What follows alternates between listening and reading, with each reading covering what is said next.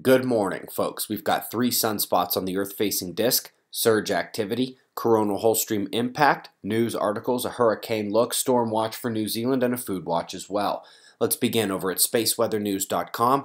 We're finding the last 24 hours on our star to be middle of the road in terms of surface activity. It's more so on the left, but without any large solar flares or eruptions. The space weather story this morning is coronal hole stream impact. It lit up auroras around the poles last night, but was not strong enough to produce a geomagnetic storm. Of course, what everyone watching here is waiting for is a look at the sunspots. Two sets of bright loops at the left side and one just ahead of the southern system on the Earth-facing circle already. The major sunspot from earlier this month is much less active and dangerous than before, but the lead umbra up north appears asymmetrical, and the one out ahead, the little guy, actually grew some peripheral sunspots overnight as surface surges aimed at the little active region.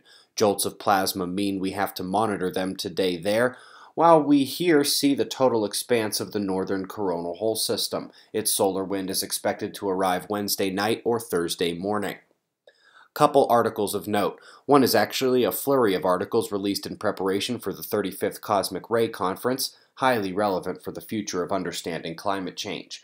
And also a decent piece on why size matters for exoplanets in terms of detecting and analyzing their atmospheres, but mass does not, meaning that the gravity of large planets does not preclude atmospheres bulging out to detectable ranges. Folks, it's been a few weeks since we did a food watch, but as equinox spells a shift, Let's look around at how the climate is treating us, and while snow and record cold begins to be set in the U.S. already, we're coming out of southern winter, and it was not kind to everyone.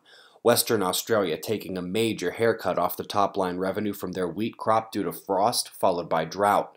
We are still seeing the more anomalous monsoon patterns in the eastern world, and the effect is felt financially and emotionally but perhaps the roughest go came to parts of South America. Now, while some parts actually had an okay winter there, when the southern half of a country loses half its agricultural production due to drought, it is a big deal.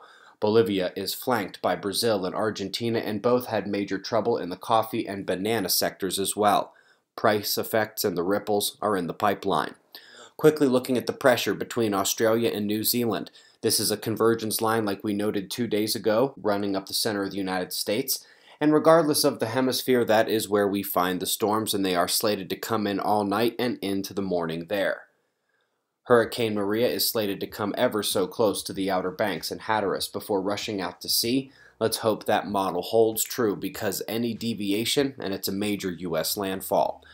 We've got your wind maps, null school, and shots of our star to close. We'll do this all again tomorrow, right here, but right now it's 5.30 a.m. in the new Valley of the Sun. Eyes open, no fear. Be safe, everyone.